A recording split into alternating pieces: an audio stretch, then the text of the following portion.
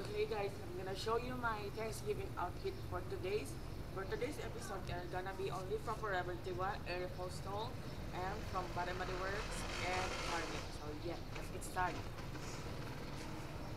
So first of all, I'm gonna apply my I'm gonna wear my sweater. This is, this is from COC. It was like two hundred dollars, and also my hoodie. Now for your hair, you're gonna turn, turn, get one, turn one, get one, turn one. So let's look at this. So this video I got this from Forever 21. It was like fifty dollars each, fifty pesos each one. I got this only for three pesos, three, three pairs.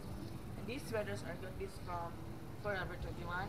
Also, I got, it was like 300 pesos. And my skirt also are from are from Aeropostale. And these pants I got this from from NTCC. It was like 300 also.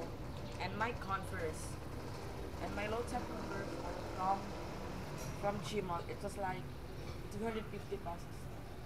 Ano, ano, ano, ano. And you can apply your and your lotion.